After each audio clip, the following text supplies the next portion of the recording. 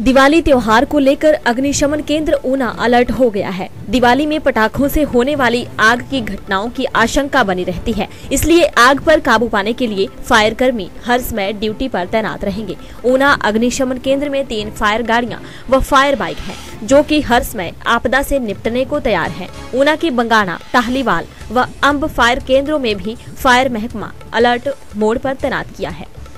अग्निशमन केंद्र ऊना के प्रभारी नितिन धीमान ने दिवाली त्योहार को सभी को बधाई दी है। उन्होंने कहा कि दिवाली ज़रूर मनाएँ, लेकिन पटाखों को चलाते समय हमेशा सावधान रहें। सार्वजनिक दुकानों, स्थानों, मकानों व घास के कुनुओं के क्षेत्र में पटाखे न चलाएँ। आग की घटना को लेकर टोल फ्री नंबर एक शून्य एक पर संपर्क करें।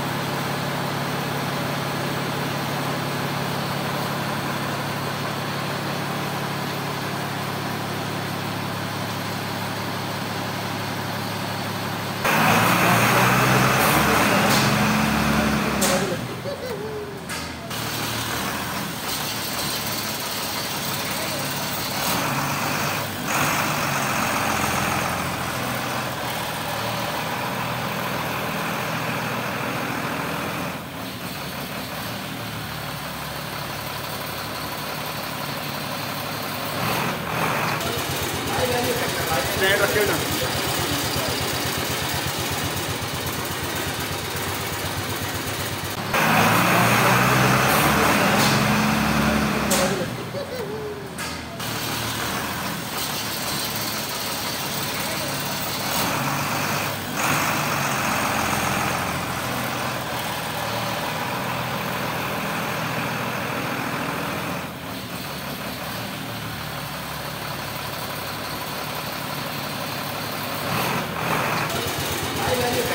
स्टैंड रखे ना।